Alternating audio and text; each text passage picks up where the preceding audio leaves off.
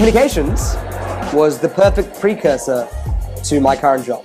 Setting up my company uh, was completely related to the degree that I studied. Uh, so branding, HR, radio, broadcasting.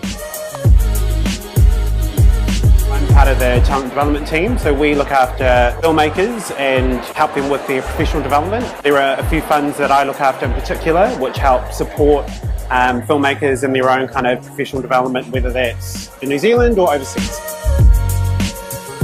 No matter how much you can use an edit suite or a camera, words are really important and understanding story is really important no matter what the tools may change, but the fundamentals of story don't. And I think that's the great thing about this course is it teaches you A, how to retain information, but two, how to uh, be a storyteller. And I think that that sort of skill set, no matter what you're doing and what part of the industry, uh, is something that is, uh, is always going to be in demand.